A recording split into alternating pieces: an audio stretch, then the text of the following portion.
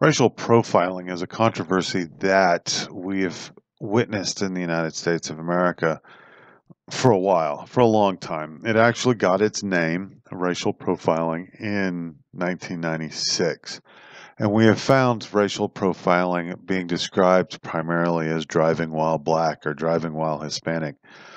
This has evolved into the perceptions that police target racial minorities based on nothing more than their race.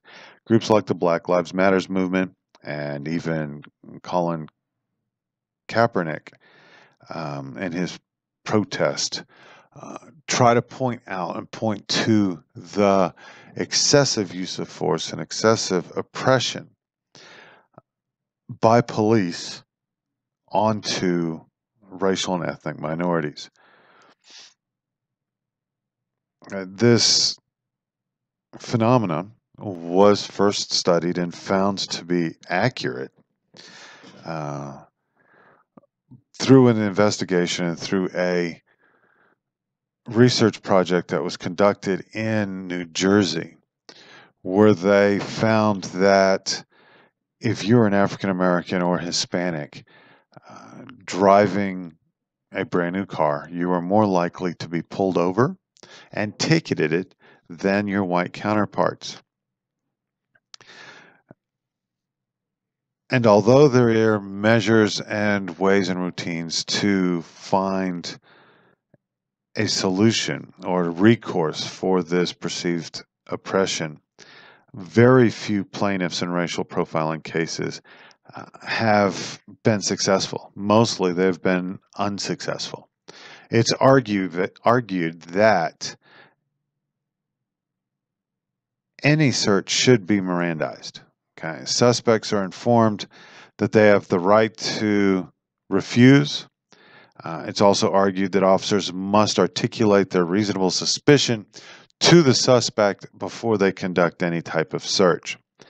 Okay, so far, no court has adopted these requirements, but this is the requirement that is currently being pursued uh, through uh, the Black Lives Matters movement, through Colin Kaepernick's protests, um, and through the NAACP and a lot of other organizations and groups that are suggesting that cops are racist and they target racial minorities. Whren et al. Whren et al. and everybody else involved versus the United States, a 1996 case uh, is the leading decision in racial profiling controversy or in the controversy itself. And Whren actually closed the door to a Fourth Amendment remedy for racial profiling. And at the time in 1996, there was a complaint. The the the controversy or the the protest at the time was that people were being pulled over and ticketed and their cars searched based solely upon race or ethnic uh, origin. The courts ruled that stopping motorists based on probable cause does not violate the Fourth Amendment.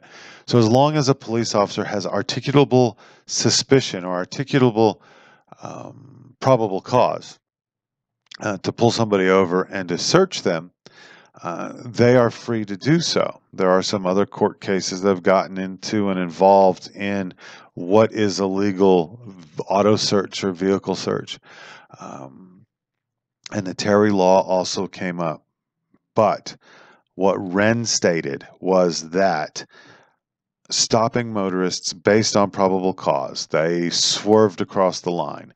They didn't use a proper turn signal while changing lanes or making a right or left hand turn. They brake lights aren't working right. There's a turn signal not working right. You know, any speeding, uh, not speeding, um, you know, not going the the with the flow of traffic. All of these are probable cause and reasons to pull somebody over. And the court in Whren said that that is legitimate and basically said it's coincidental that the drivers happen to be African American or Hispanic, Asian, uh, other than white. In Terry v. Ohio, 1968, Sorry. Terry v. Ohio, 1968. The court case uh, that produced the Terry rule, produced the Terry stop for the stop and frisk. Uh, the court stated that officers were allowed to conduct warrantless searches in the absence of probable cause for the narrow purpose of officer safety. They did limit the items to that which could threaten an officer's safety. Okay. Other items found in a Terry stop or during a Terry stop are inadmissible. So, what happened in Terry, if you remember what happened in Terry, uh, a police officer uh, noticed Mr. Terry casing a liquor store. Uh, he was wearing a coat that was not proper for the season, uh, and they were pacing. And the police officer, 25 years experience, stated that he believed the man was about to commit a crime. So he and his partner went and searched Terry and his accomplices. And Terry was arrested on a illegal weapons charge and sent to prison. Okay. Uh, the courts supported and they upheld the conviction, even though there was a Fourth Amendment contestant stating that there was no probable cause to search uh, Terry. Uh, the courts disagreed and said that uh, for as little as officer protection, a police officer can search an individual. This has a long line of legal rulings uh, that have vastly expanded the stop and search. As we know uh, from the time that Mayor Giuliani uh, Rudy Giuliani was mayor of New York City, uh, just about everybody was stopped and frisked for any reason.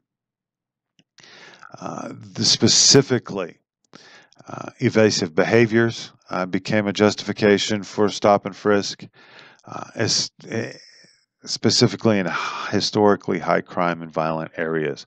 So, if there's a lot of crime, there's known to be a violent area.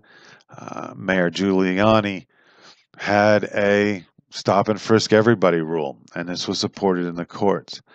Uh, the courts have ruled that merely avoiding the police is enough justification for a cursory Terry stop. Okay? If you turn around and you go somewhere else, or you try to avoid uh, contact with the police, the police can chase you down and search you. And then anything that's found uh, in the form of weapons uh, can be used against you in a court of law and you can be arrested. There are three reasons that are legally permissible for a stop and frisk uh, in Terry. And Terry states, or Terry is used predominantly in pedestrian stops. Terry is not normally used in auto stops. That's another court case altogether. And when you are predominantly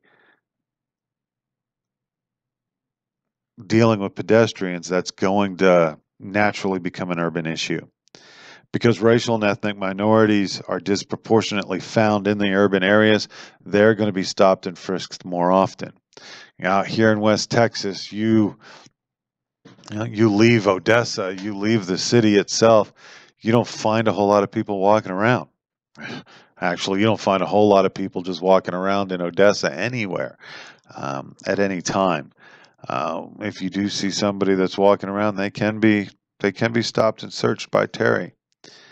Uh, the second reason is that you know the neighborhoods that are officially characterized as high crime areas um, are also predominantly populated by racial and ethnic minorities. Um, because you're looking at high crime areas, uh, racial and ethnic minorities are going to be searched more often. And third, allowing police to base a cursory search on this subjective perception of evasive behavior. Uh, this does ignore the reality of the minority experience in dealing with the police, and racial and ethnic minorities are going to be nervous and evasive when dealing with police because they're taught from a very young age that the police are the enemy and the police are only out to send you to prison. So, the Terry rule, although is great in the point that it helps deter crime and stops crime. It does find itself predominantly being used in racial and minority, racial ethnic minority areas.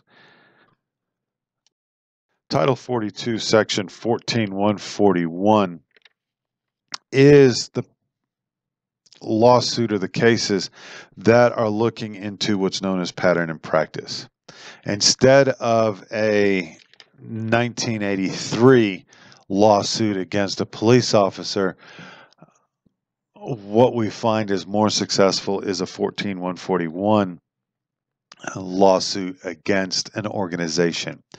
And this lawsuit focuses at the police department itself uh, as patterns and practices where the entire department is being shown or being perceived as targeting racial ethnic minorities.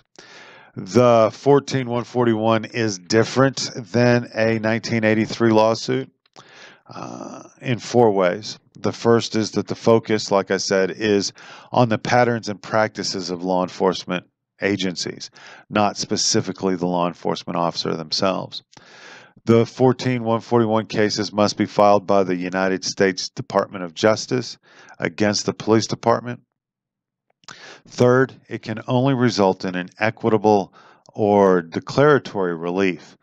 The individual cannot sue the police department for damages because this is actually the federal government that is filing a lawsuit against the against the agency, not uh, a victim against an individual police officer. The case is also heard by a single judge and not a jury.